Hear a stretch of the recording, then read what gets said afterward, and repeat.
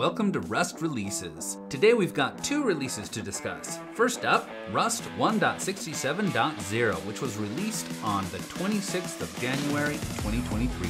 Thanks to the hard work of 329 contributors, including at least two bots that I'm aware of. Let's talk about some notable changes. Notable change number one Async functions annotated with the must use attribute now apply that attribute to the value the future returns instead of applying it to the future itself. What does that mean? Let's say you have an async function named bar that returns an integer, and you want to make sure that the caller uses that integer and doesn't just drop it unintentionally.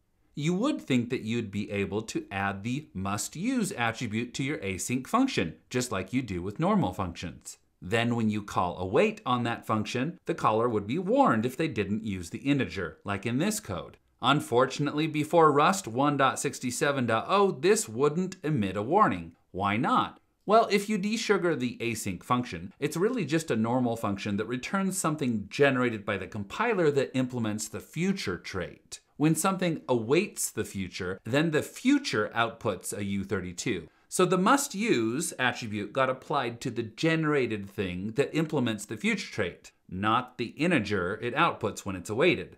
Fun fact everything that implements the future trait already has the must use attribute applied to it automatically. So not only did this must use not do what we wanted it to, it applied to something that already had it. In Rust 1.67.0, the must use attribute is applied to the output of the future trait for async functions, which in this case is the integer. So now it works like you would expect.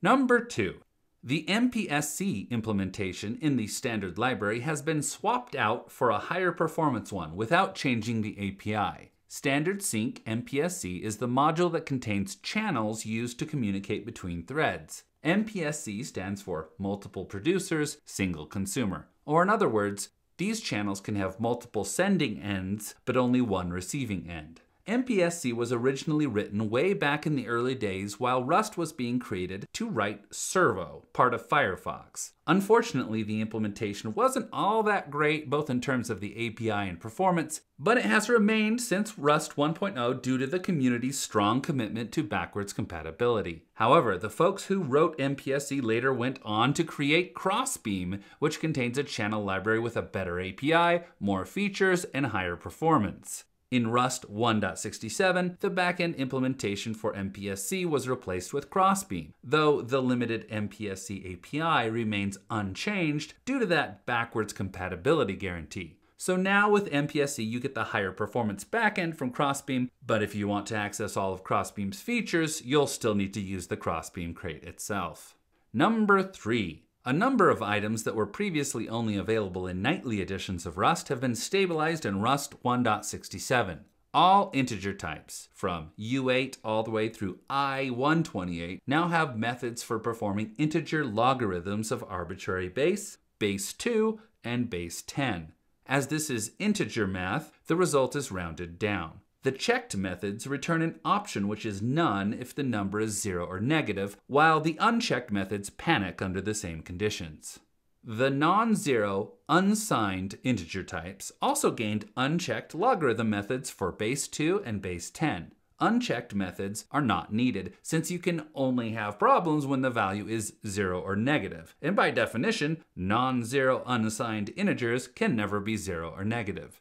Finally, all of the non-zero integers, both signed and unsigned, gained a bits associated constant, which is the number of bits in the type. This is useful for folks who are writing generic functions over non-zero integer types and need to know how many bits they happen to be dealing with.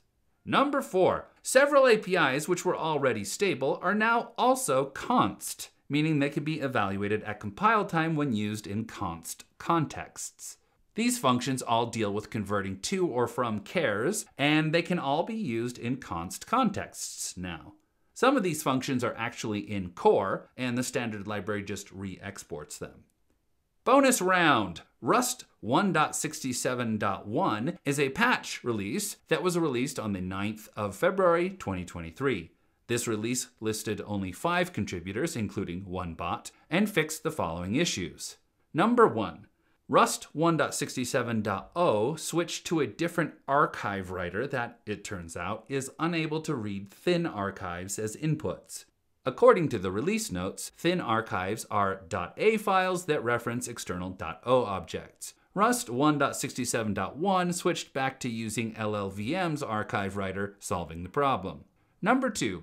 There was an unsoundness bug in the Bootstrap cache code making Rust 1.67.0 unable to compile itself. While not an issue for most end users, it is quite important to be able to build the compiler itself when you're working on the compiler. Otherwise, you can't use the latest compiler to produce newer compilers. This has now been fixed.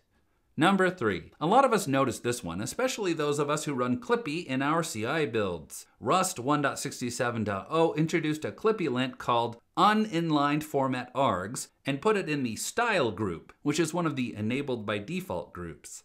The lint looks like this. This lint tells you that when you are formatting a variable with a macro like format or print or print line, you can inline the variable into the curly braces in the format string.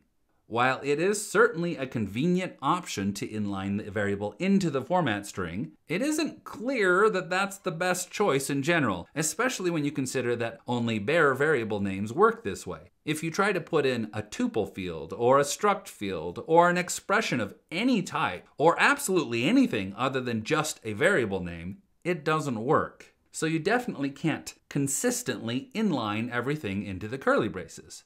However, those are just my feelings. The reason this was reverted was that Rust Analyzer doesn't support inline argument capture, which means no autocomplete. So this lint is temporarily downgraded to the pedantic group, which is not run by default. Expect to see this lint popping back up once Rust Analyzer supports it. And that's all for today, folks. If you enjoyed this, please like and subscribe.